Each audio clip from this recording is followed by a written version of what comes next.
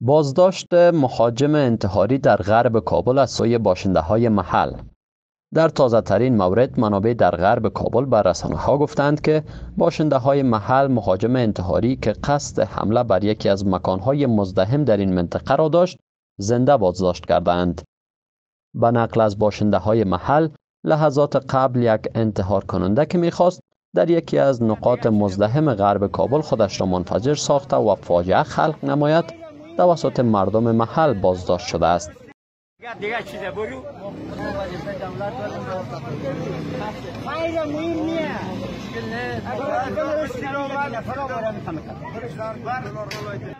گواهان رویداد در پیوند به این حادثه می‌گویند در نخست سه شخص در بازار ریگریشن از موتر نو کرولا پایین شدند و به دنبال مکان مورد نظر می گشتند که پس از بررسی باشنده های محل و ایجاد گمان زنی ها در مورد هویتشان باشنده های محل یکی از این مهاجمان را بازداشت کرده است.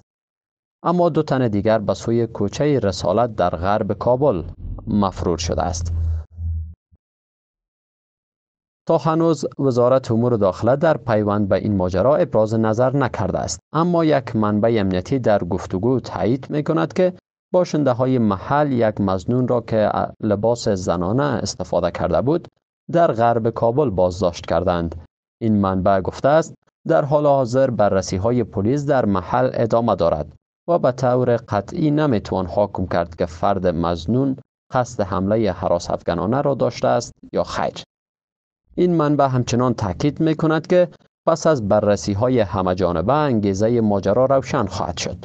او می افزاید پس از هر ماجرای شهروندان به دنبال بزرگنمایی هستند اما پیش از هر گونه بررسی هنوز زود است که در مورد این رویداد حکم کنیم. امکان دارد که مزنون با استفاده از لباس زنانه قصد ترس در محل را داشته باشد. یا هم انگیزه جنایی و سازمان یافته در پشت این ماجرا نهفته باشد.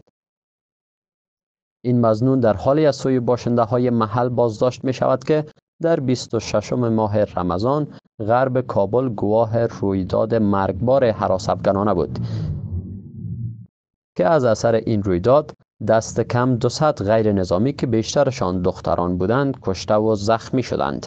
داعش پس از حمله موتر بمب بر مکتب سید الشهدا مسئولیت آن را بر دوش گرفت. مقام های امنیتی در پیوند به این رویداد از ابراز نظر خودداری می کنند.